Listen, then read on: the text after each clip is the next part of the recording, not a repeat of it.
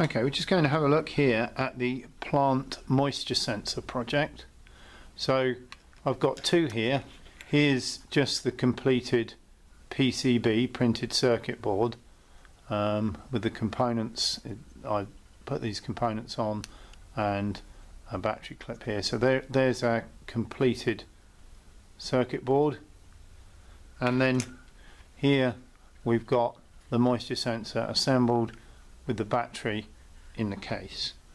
And if we just take a look at this it has some plant instructions on it.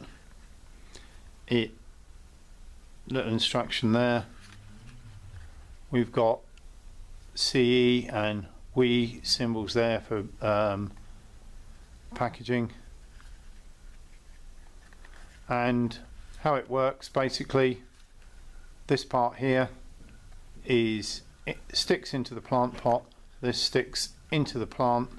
And I, I don't have a plant pot here but if we look at this sponge which is a little bit of moisture on it and we can see that when the plant is just right so we've got the just right amount of moisture in the soil the light is lit and then so you can water it the light is lit the LED there and if it dries out the light will go out telling you that you need to add to water the plant. So there it is, there's the moisture sensor project completed